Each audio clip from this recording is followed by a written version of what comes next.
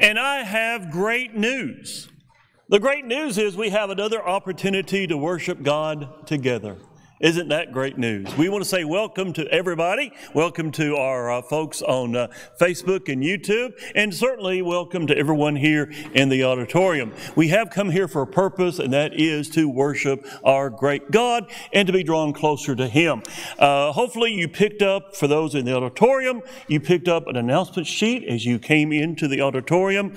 I'm not going to repeat this to you because you can read yourself. One announcement that missed it that I want to add want to remind you if you want one of those phenomenal Blaze t shirts, Billy says they're one of a kind. Fantastic. The people making them are fantastic. You want one. The cutoff is October the 10th. Uh, after October the 10th, hey, we can't fulfill your request. So if you do want to receive one, uh, fill out the form out there, put it in the box, and order one, and you can be part of Blaze 2021. At this time, let's praise our God. Will?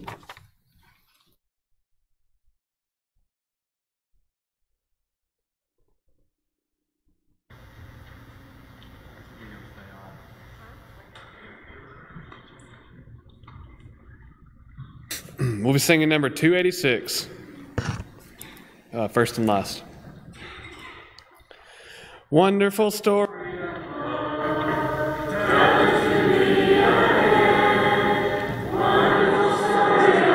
Of wake the immortal strain. Angels from rapture announce it. Shepherds with wonder receive it. Sinner, oh, won't you believe it?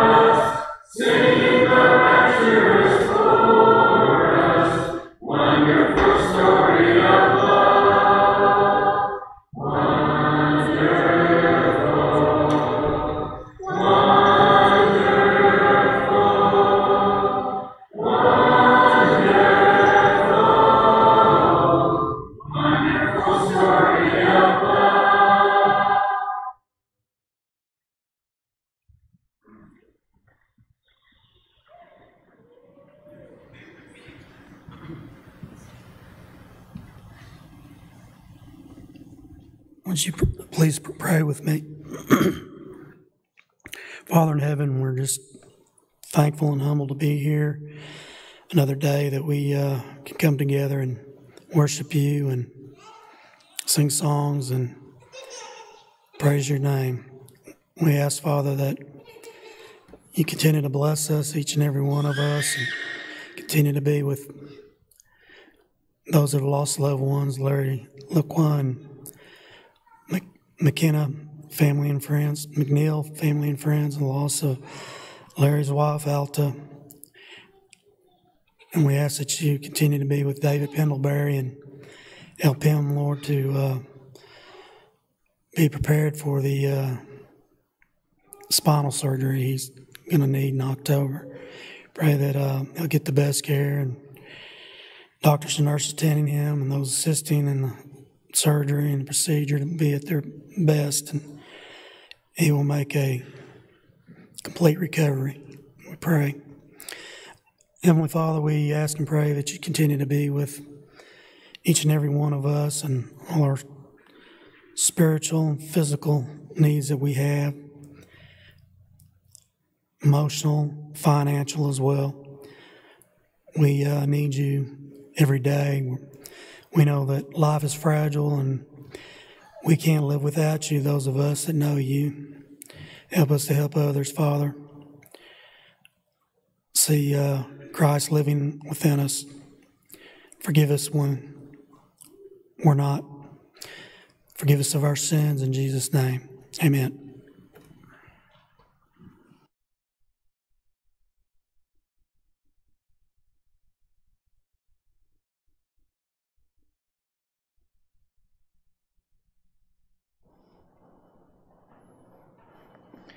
On the south side of Birmingham, Alabama,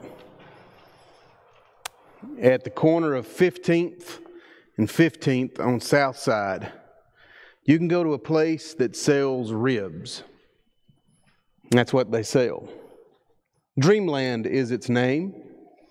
They have an extensive menu. It's ribs, loaf bread, and sauce. That's what you get. And they, they ask you, do you want a half a rack or a full rack? And they always bring out a loaf of, of white bread and a, and a bowl of sauce for dipping purposes as you're waiting on these ribs. And I can eat, used to could eat, a pile of bread and sauce. That just prepares your stomach for what is about to come. However, in Matthew chapter 14, there are some loaves of bread that are mentioned there that have nothing to do with the size of the loaf that you and I think of. As a matter of fact, they're about the size of an average roll. Here's a boy who has five loaves of barley bread and two fish. He has pretty much what was left over from last night's meal. And somehow he is caught up with this crowd who is following Jesus and listening to him until the crowd begins to say, Man, we are, we are starving to death. And they begin to turn and go find something to eat, to which Jesus says, Feed them. The apostles reply, We don't have anything to feed this kind of crowd with. There are 5,000 people here. What do you suppose we're going to feed them with?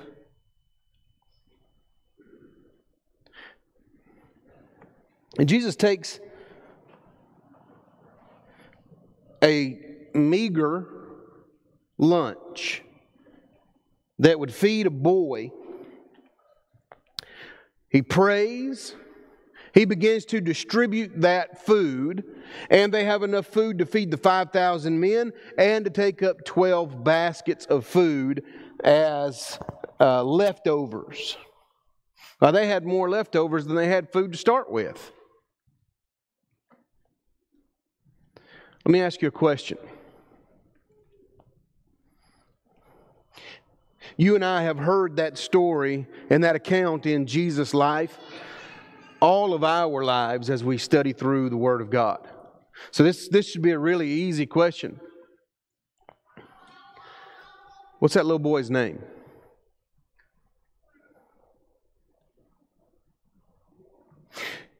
How about the lady who walks into the uh, temple there and she puts those two mites into the, the contribution there of the tabernacle, or the temple rather? We know her as the widow and those two widows' mites. What's her name? How about those four men that carried their friend up on top of the roof and began to pull back the thatched roof in order to let their friend down so that he could be healed by Jesus while Jesus was being pressed into a house? Just give me one of the four names.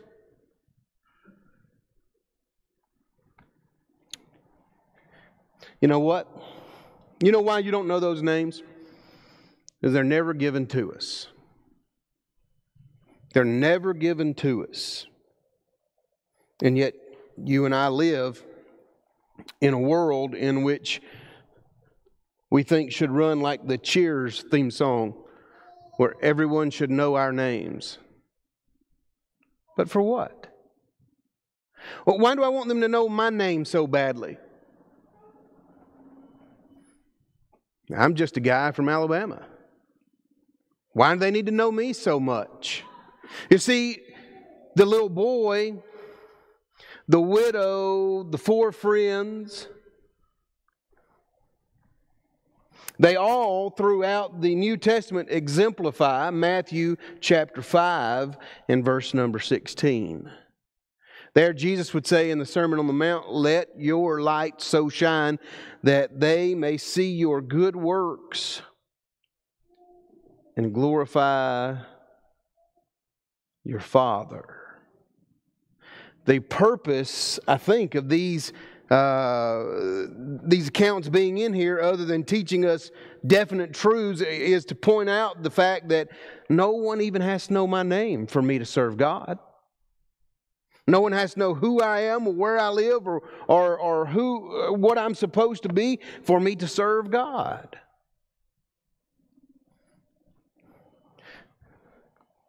What if I never get called to the greatest preaching opportunity ever? I don't even know what that would be, but what if I never get called to it? Sunday's still coming. What if I never get to the rank of whatever I want to be in my office? Uh, Sunday's still coming.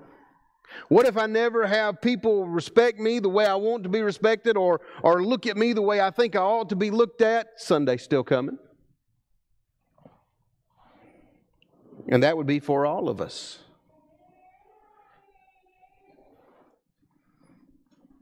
God wants servants.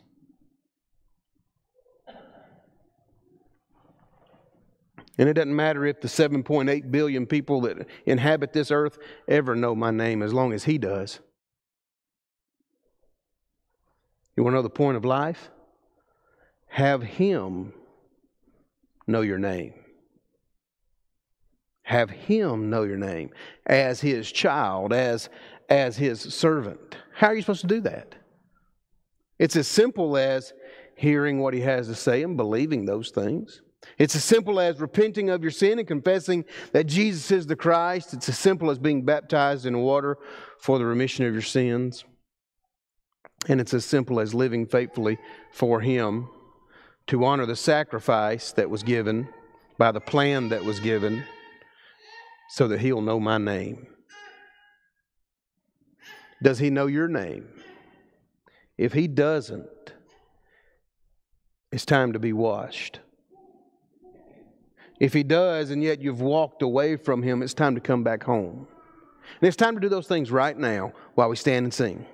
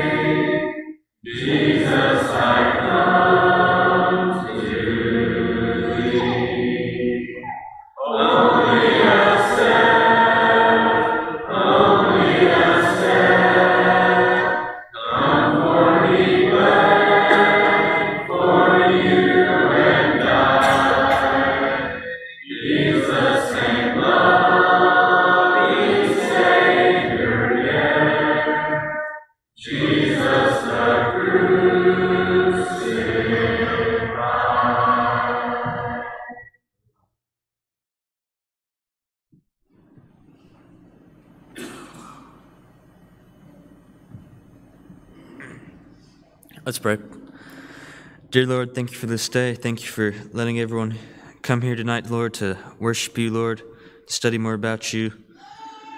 Help us we go to our classes, Lord, to be focused and take from your word, Lord, and apply it to our lives and live our lives every day for you, Lord, and to be shining lights for those in the world. Please be with the sick, Lord, and those who have lost loved ones. Please forgive us for when we sin, Lord. In Christ's name, amen.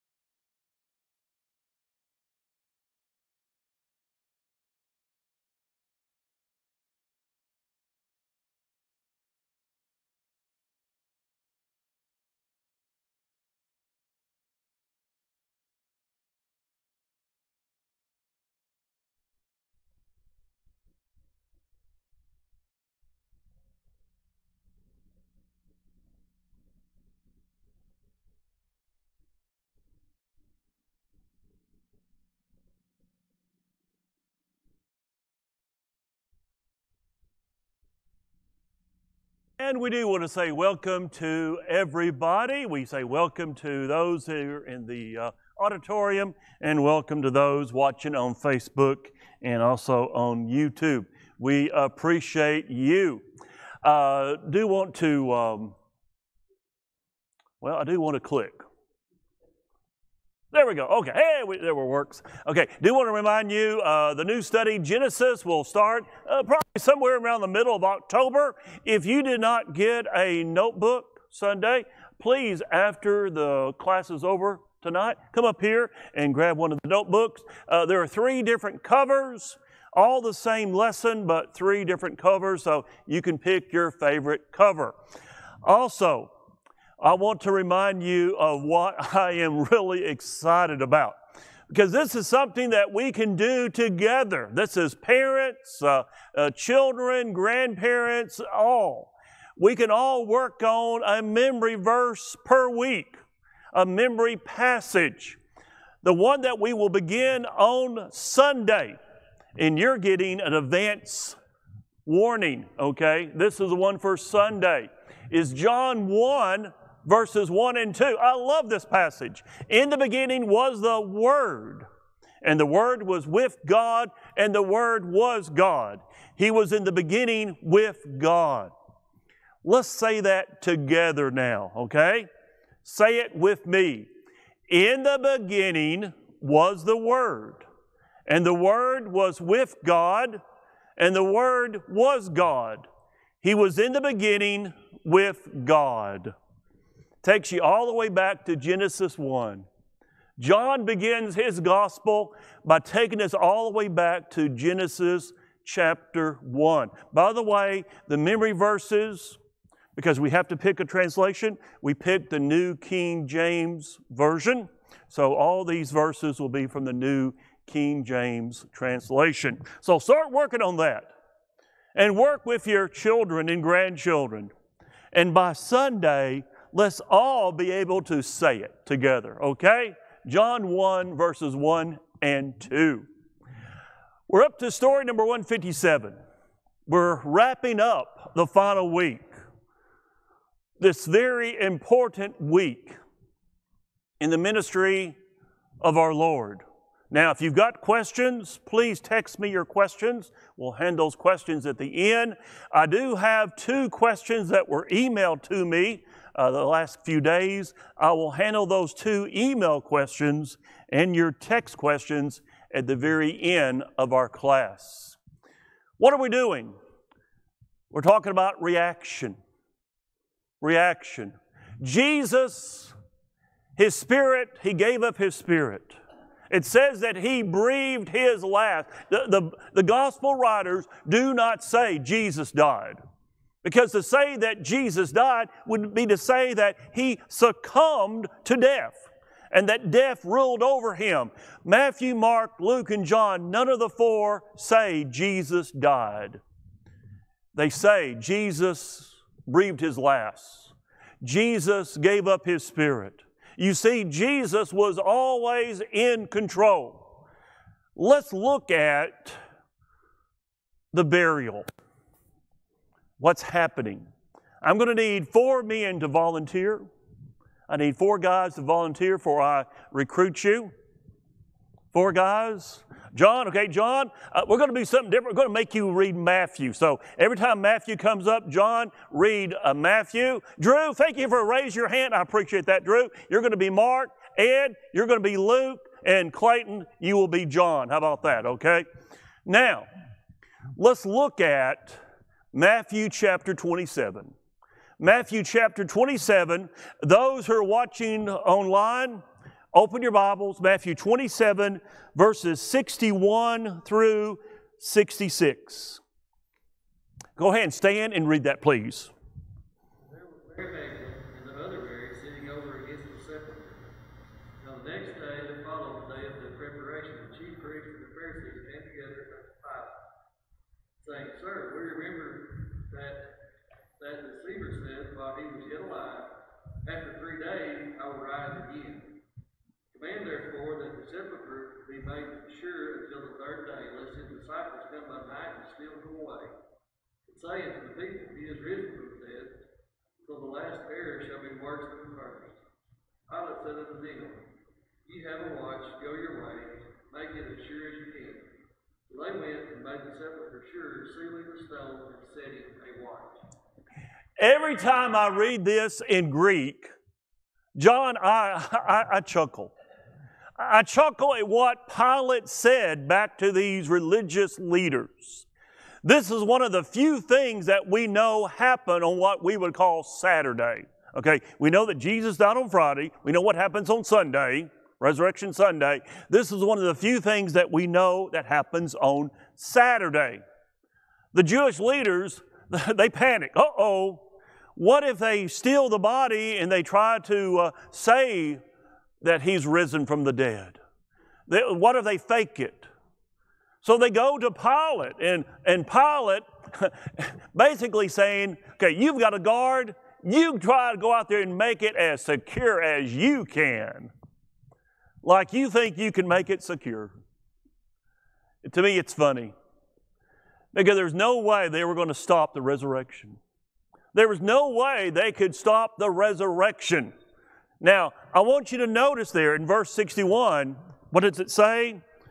They were sitting, these women were sitting opposite the tomb. It's a private tomb. This is not a public, mass public cemetery. There's no way that the women might go to the wrong tomb. In other words, if this is the tomb of Jesus, they don't end up going over here to the wrong tomb. They know for sure which tomb he's put in.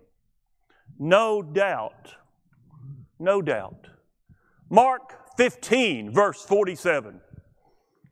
Mary Magdalene and Mary, the mother of Joseph, observed where he was laid. Love these ladies. They got faith, they've got love. Luke chapter 23, verses 55 through 56. The women who had come with Jesus from Galilee followed Joseph and saw the tomb and how his body was laid in it. Then they went home and prepared spices and perfumes, but they rested on the Sabbath in obedience to the commandment. Ladies, I'm not going to say this to insult you, but 2,000 years ago, your testimony wasn't worth the words that was put on the paper. That's the way it was. A testimony of a woman was not held as reliable in a court of law. So, Matthew, Mark, Luke, and John, if you're trying to prove something that didn't happen, why did you why are you using women as your witnesses? Because the women will be the main witnesses. Who were the first ones to see the risen Savior? Women. Uh, Matthew, Mark, Luke, John, uh, you're using the wrong gender. You got to use guys. But that's the way it was. You see, that's the way it was. These women, they keep their distance from the two prominent Sanhedrin members. uh, Joseph and, and Nicodemus. They also are standing away because of probably the, uh, the social stigma of non related men and women. You don't interact like that in public. In addition, it was against Roman law to mourn executed criminals. By the way, the moment Pilate gave Joseph the body, the right to the body, he was saying Jesus was innocent because he didn't treat Jesus as a true criminal. You see, criminals did not receive burial. They got thrown into a mass grave, or they got left on the cross. If it wasn't uh, in Jerusalem, if it wasn't uh, there, they would just be left on the cross. These women, they plan to return at the first opportunity, and they will. In fact, they come, according to John, they come to the tomb, it's still dark. It's what we call Sunday morning, but it's still dark. First light is just starting to creep over the eastern side of the Mount of Olives. They go and get what they can on that Friday late. They get the rest of it Saturday, probably late, and they plan to go on Sunday as early as possible. Why? Because they love Jesus. And they want to honor, they want to honor him. They want to honor his burial. Guards are posted. Now, if you are a guard and you're posted to guard something, do you fall asleep? That's going to be important. We'll mention that here in just a moment. Okay? Guards traditionally do not fall asleep, they guard.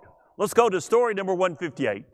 Story number 158 Resurrection Sunday. We have now left the final week, okay? Yes, I know this is not part of the final week. That's true. But you can't end the story on Saturday. That's not a good ending. The story is not complete without Resurrection Sunday. And then Jesus showing himself for 40 days. Remember the importance of 40 days, the number 40. 40 is always a testing period. 40 days in the 40 years in the wilderness, 40 years for Moses in the desert, uh, 40 days uh, for Jesus before the temptations. It's always a testing period. It was a testing period for the faith of those new followers of Jesus. We're going to be looking at his resurrection and we're going to look at his ascension back to the Father. Throughout the book of Acts and the epistles, the resurrection of Jesus is proclaimed as the cornerstone of our faith. Without the resurrection of Jesus, Jesus was just a good person. Okay? Without the resurrection of Jesus, Jesus was just a good person. Let's look at Acts chapter 2. Acts chapter 2. In that first sermon that Peter preached, what does he talk about? The resurrected Savior. Then look at Acts chapter 4, Acts chapter 4, verse 1 and 2. Now, as they spoke to the people, the priests, the captains of the temple, and the Sadducees came upon them, being greatly disturbed that they taught the people and preached in Jesus what? The resurrection. The resurrection from the dead. Acts chapter 4, Acts chapter 4, verse 33. And with great power the apostles gave witness to what? The resurrection of the Lord Jesus. His resurrection. Acts chapter 22. Acts chapter 22. Acts chapter, excuse me, chapter 23. Acts chapter 23, verse 6. But when Paul perceived that one part were Sadducees and the other Pharisees, he cried out in the council, Men and brethren, I'm a Pharisee, the son of a Pharisee, concerning the hope and resurrection of the dead, I am being judged. Paul preached what? The resurrection. Acts 24. Acts 24, verse 15. I have hope in God, which them themselves are also accept, that there will be a resurrection of the dead. A resurrection of the dead. Romans chapter 1, verse 3 and 4 concerning his Son, Jesus Christ our Lord, who was born of the seed of David according to the flesh, and declared to be the Son of God with power according to the Spirit of holiness, by what? The resurrection from the dead.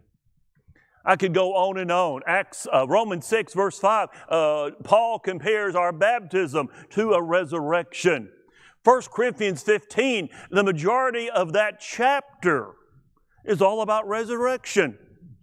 You might say the apostles had a one message message, and that one message was resurrection.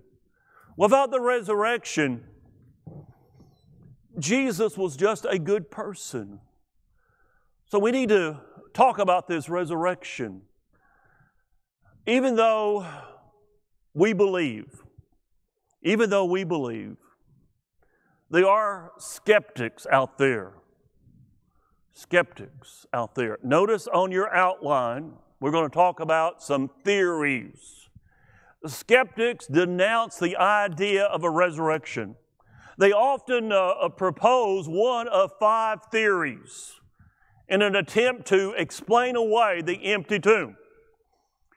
Tonight, let's prove the skeptics wrong. Skeptic theory number one it's called the stolen body theory. Here's how it works the disciples came and stole the body. Uh, I think the Jewish leaders started this theory. They, they stole the body, and then what they do? They spread the hoax of his resurrection. This was the original theory that was concocted by the Jewish leadership. Matthew chapter 28.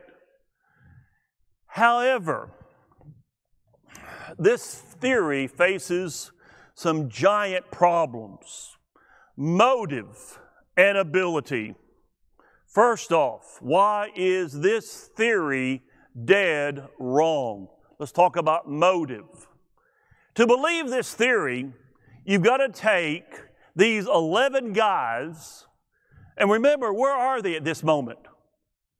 Well, Friday they run away, Saturday they're hiding, even Sunday, they're hiding behind closed doors. Why? Well, as the little boy would say, they're scaredy cats. They're scared. And they're hiding. Now, you've got to believe that these frightened men would come after Saturday morning. Now, why would I say after Saturday morning? Remember the Jewish leaders approached Pilate about posting a guard? That was on Saturday. We would assume probably early on Saturday. I'm sure when they went out there to post that guard, they said, We better check, make sure that his body's in there. So I, kind of believe, I can't prove it, but I kind of believe that they probably said, Let's roll that stone away for just a moment. Let's look at it. There, there's his body. Okay, let's seal it back up and let's put the seal on it now. This is to say, if you believe in the stolen body theory, you believe that those 11 men somehow on Saturday night or early or early, early Sunday morning were able to sneak in, get past a guard's and notice it said guard, it was plural, more than one man. Get past guards. They were able to roll that stone away. And they, not, they did not just take the body, they actually then took the, the burial clothes and put everything neat.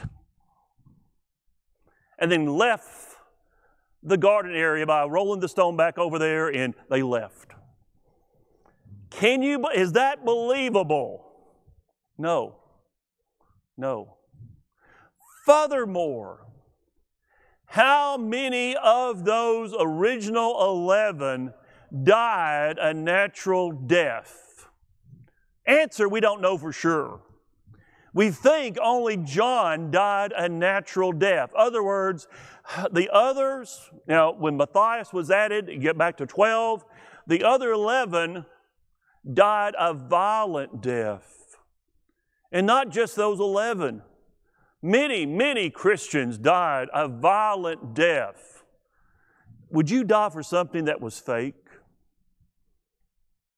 I, I know I wouldn't.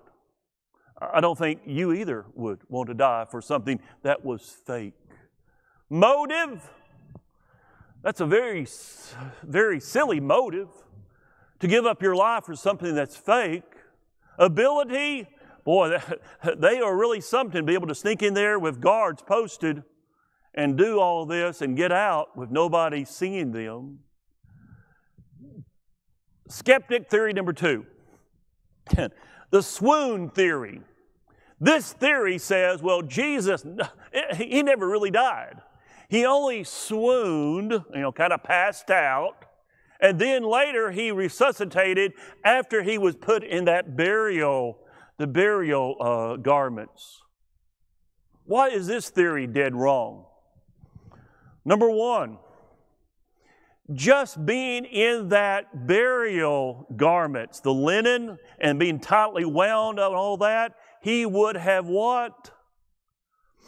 Can't breathe, can't breathe. He, he would have died in that. Furthermore, furthermore, remember the condition of Jesus' body?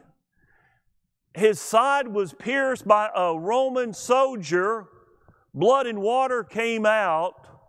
So he's got a major gash to his body, blood and water coming out. He's been beaten not just by the Jewish people, he was beaten also by the Roman soldiers. He had been on a cross for six hours. How can you even think a body could survive something like that? That doesn't make sense. It doesn't make logic sense. But the swoon theory would say, well, it does. It does make sense. He just, uh, he passed out and he was resuscitated. And then the last problem with it is how did he get out? Remember, a stone is in front of the entrance. A stone, if you have enough strength, you can move it if you're outside because you can grip the edges of it and you can move it. How can you, you can't grip the edges if you're inside? Think about that. You can't grip the edges. There's no way. I mean, you'd have to put your, your hands on it and hope that the friction of your hands you know, was enough to cause the stone to move. Not very likely.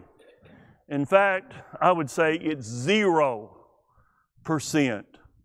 Skeptic theory number three wrong tomb. This theory says that the women, and then later Peter and John, they all went to the wrong tomb. They were supposed to go to this tomb, and they went to that tomb. And they mistakenly thought that Jesus was raised from the dead. Why is this theory dead wrong? I've already mentioned this was a private tomb. You know, if you go to one of our public cemeteries, you might, if I told you to go to so and so's grave, you might go to the wrong one because it's a big cemetery, big, massive cemetery. A few years ago, I, I officiated a funeral. The family had their own private burial uh, area. It was on the backside of their farm. I knew exactly where to go. I knew where their farm was. Uh, I knew it was on the back side of the farm. I knew it was next to the creek bank. I knew where the creek was. I mean, I, I, there's no way I could get lost. I knew exactly where I was going. There was only, I think, five. Uh, there's only five uh, uh, uh bodies buried there. How could the women who actually was sitting opposite watching? How could these women how could they know? How could they go to the wrong tomb? And remember, John, even though Peter wasn't at the cross, John had been at the cross. And remember, the garden tomb is near Golgotha. It doesn't make sense that they would go to the wrong tomb. They knew exactly what tomb to go to. It was a private tomb. Theory number four hallucinations. This theory says that the disciples wanted so badly for Jesus to be raised that they hallucinated his appearances. Why is this theory dead wrong? One person, it's possible for them to have a hallucination. Maybe two people could have this, maybe I'd say maybe could have the same hallucination. Go over to 1 Corinthians 15. 1 Corinthians 15, Paul is what he is pointing out what the witness is. Jesus did not just appear to one or two. He didn't appear just to Mary Magdalene and maybe John and Peter. He appeared to all these different people time and time and time. At one time, 500 at one time. How could over 500 people have the same hallucination? Once again, let's use good old, as my mother would say, good old common horse sense. Good old common horse sense says it's not possible. This theory is dead wrong. Theory number five, or excuse me, before we get to theory number five, a related theory to the hallucination theory is that Jesus' resurrection was only spiritual and not physical. Why is this theory dead wrong? Thomas, look at my hands, look at my side, look at my feet uh, what is, what's Jesus doing? You have anything to eat? There on the Sea of Galilee, what's he doing? He's cooking breakfast for everybody. Jesus was not just spiritual, he was physical. He had a resurrected body. They recognized those holes, uh, uh, the side, they recognized all of that his resurrection was not limited just to the spiritual side, it was physical. Because he said, Check it out. Check it out. Here I am. Check it out. Now, let's look at theory number five. Theory number five. They say the gospel accounts are a literary work of pure fiction with little basis in historic reality. Boy, did they miss the mark on this one. The gospel accounts, Matthew, Mark, Luke, and John, they are daring the people of the first century. Go check it out. Check out our story. What does Matthew, Mark, Luke, and John keep on doing? They keep on giving us names places, events, leaders. They wanted people to check them out. If you lived in the first century, and let's say you got a copy of the book of Matthew.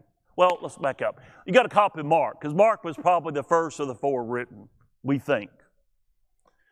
Okay, Mark says that uh, Jesus was born in Bethlehem. Let's go to Bethlehem little town outside of Jerusalem. Let's go. Hey, anyone remember uh, about 30 years ago uh, a couple having a baby uh, born, you know, in a kind of an odd place here in Bethlehem?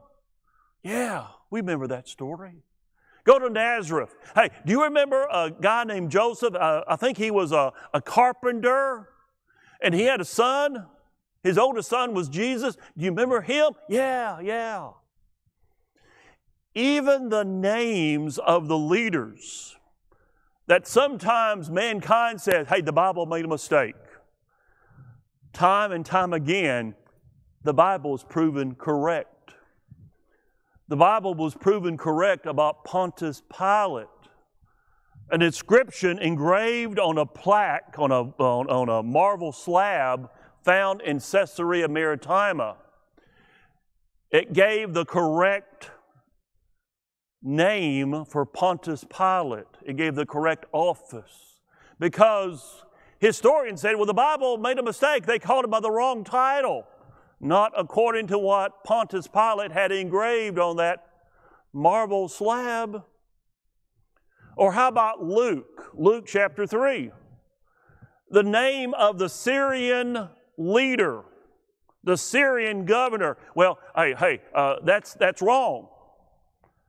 Then they find out, well, uh oh, it's right. Because he served twice. Because at first they said, no, he served before what we would call AD time period. He served in the BC time period. But then they found out, well, oh, okay, he served both BC and AD. Okay, we made a mistake. You see, the Bible proves itself. It proves itself. And Matthew, Mark, Luke, and John, they are challenging people. You go check us out. If I if I wanted to create a story, Larry, if I wanted to create a story about Michael, Superman Michael, okay, okay, look at me, uh, puny muscles, but I'm Superman Michael. I want to create a story about Superman Michael. And I want people to believe in that story. I'm not going to give you details where you can check it out. I'm not going to tell you where I lived. I'm not going to tell you when I, uh, when I uh, was born. I'm not going to tell you when I died.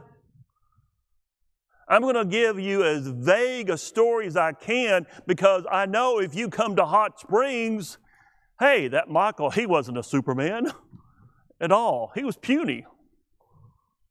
You see, if you want to create a story that is not real, but you want to make people believe it's real, you don't give them the details. Matthew, Mark, Luke, and John, they give us the details. And they they are challenging all of us, even us today. Prove us wrong. Okay, just prove us wrong. Our faith hinges on the resurrection. 1 Corinthians, 1 Corinthians 15.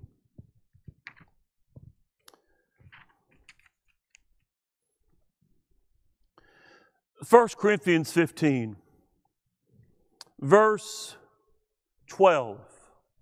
1 Corinthians 15, verse 12. Now, if Christ is preached that he's been raised from the dead, how do some among you say there's no resurrection of the dead? Why would you say that? But if there's no resurrection of the dead, then Christ is not risen. If Christ is not risen, then our preaching is empty and our faith is also empty. Why are we even here if there's no resurrection? Yes, and we found false witnesses of God because we have testified of God that He raised up Christ, whom He did not raise up, if in fact the dead do not raise.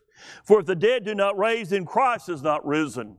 Paul says, if there's no resurrection, then Jesus is not resurrected. And if Christ is not risen, your faith is futile and you are still in your sins.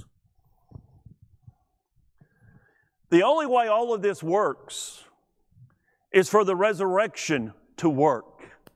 The only way all this makes sense is for the resurrection to work.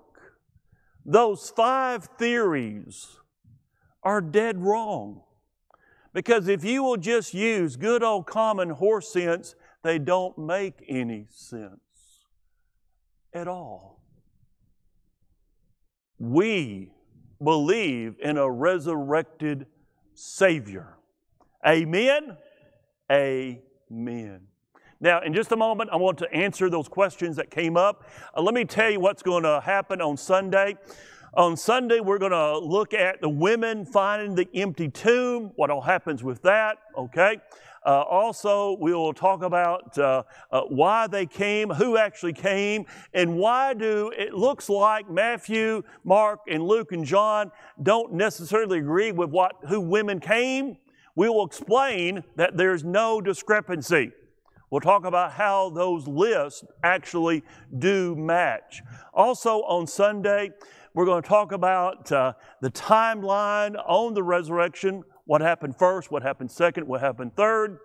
And then, if we have time, we're going to talk about what? We're going to talk about why the stone was rolled away.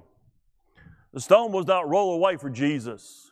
Jesus did not need that stone to be rolled away.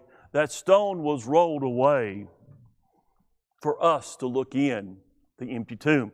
Now, let me go ahead and answer the two questions that was emailed to me, and then let's see if we have any. Oh, uh, we do have a question for here, so good. We got a question for here.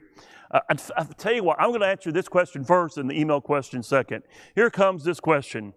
When the tomb was sealed and the guard set in Matthew 27, what was the sealing process? If it was a typical Roman process, Okay, if it was typical Roman process, what they did, it was they would actually take a string and put it over the tomb, and they would take the end of the string and then take a hot wax, and they would then, you know, attach the string to the stone. And then, if it's a Roman, if it's a Roman seal, if it's a Roman sealing, they would then take the Roman uh, ring of Pilate and put it into that wax, signifying that this was officially sealed. And it's kind of like, you know, when the police, you know, go, don't, don't cross it, you know, the, the yellow, yellow tape, you know, you, you see, and you know, don't cross. Well, you don't, you don't break a seal. That seal was there. The seal was there to signify that this is to be left alone. Okay? So that's how, if it's a typical Roman way of sealing, that's how they did it back then. The two questions that were emailed to me. Question one the person had a question about the, the nail prints. Because I, I mentioned that uh, more likely the nail prints went right about here, okay? Not here in the palm, but right here. And uh, the question was, why did they do that? Well, the Romans did that for basically one reason more stability. If you put it here, it can tear, and the, actually the limb could be torn away from the, uh, from the cross beam. Now, funny thing, people will do experiments on the weirdest stuff. There was a, uh, there was a professor that did an experiment on cadavers. And he did determine there is one place in the palm that if you hit it just right, it can give stability uh, to, the, to the nailing of the hand to the cross. So maybe there is an outside chance that it was more in the palm, but more likely the typical way that the Romans like to do it was right about here because you got more stability because they don't want that body to jerk off and fall off of the tomb. So that's the reason why they did it here and not necessarily there. Second question. The question was they said that, uh, remember when Jesus cried that he was thirsty?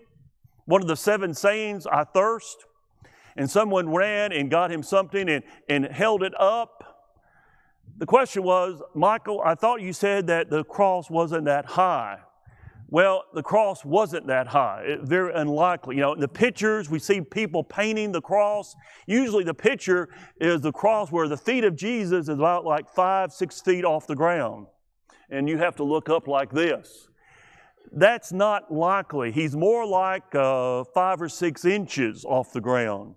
So, still, you would have to, you know, you would have to, to, to go up with uh, the drink uh, but it's not like um, it's not like what they picture. What's the famous painting of uh, Mary and she's kind of at the cross and Jesus is on the cross and and she's at the foot of the cross. What's that famous painting? Okay, uh, I thought she would know. Um, but there's a famous painting by, by some famous artist, and you see supposedly Mary, and she's at the cross, and she's all kind of like this, and she's kind of grasping the cross, and, and her head and the feet of Jesus is like way up here, and her head's right here, you know. So, uh, as I said, not, thank you, uh, not likely, you know, he was more like five or six inches off the ground. Why did they do that? It's to create more fear. They wanted you to see, they didn't want you to have to look up because you might miss it. If you look up, you might miss it. They want you as you're coming into Jerusalem. And remember, you're going to have a lot of people coming in Jerusalem. You've got the Passover. You've got heavy traffic. You've got, uh, if you look at the Gennath Gate, you've got two roads that come together right there and then come through the gate. You've got a lot of people coming into the city. You don't want people to have to look up and you know, might miss it. They want people to see it. They want to get more bang, in this case, fear, for the buck. They want to create as much fear as they can. So usually, the person on the cross is not that uh, high up off the ground. Also, it helped because the soldiers, when they put in that crossbeam up, one soldier's on one end, other soldiers on this end, they can reach up and then hold it up like this and then fit it into that little notch and connect it in. They don't have to have a ladder. They can do it right there. Makes it a little bit more convenient for them. Uh, let's see, anything else? We got about two minutes. I don't see anything else. Um, I would expect us to be. We're going to be. We're going to. We're going to cover the uh, the Resurrection Sunday. We've got uh, that. We're going to cover also his uh, resurrection appearances. We'll have one lesson that comes from Acts 2 with the start of the church. And then this study will end. So I'm guessing probably middle of October. That's when Genesis starts. And get ready. I'm excited for Genesis because Genesis is going to be, you know, like that elder said, if you want to have a better understanding of God, get a better understanding of the book of Genesis. Because the book of Genesis is going to really open up our eyes to Jesus. Coming up Sunday morning, Jericho, Joshua chapter 6. Coming up Sunday night, Revelation 9, the first half of Revelation 9. We've already had the three things that brought down Rome natural disasters, that was chapter 8. First half of 9, moral decay. The last half of chapter 9, which will be October the 10th, enemies all around us, outside enemies. That's the three things that brought down Rome. You are dismissed. Appreciate you all. Love you all. Thank you. If you would take this back to the back for me.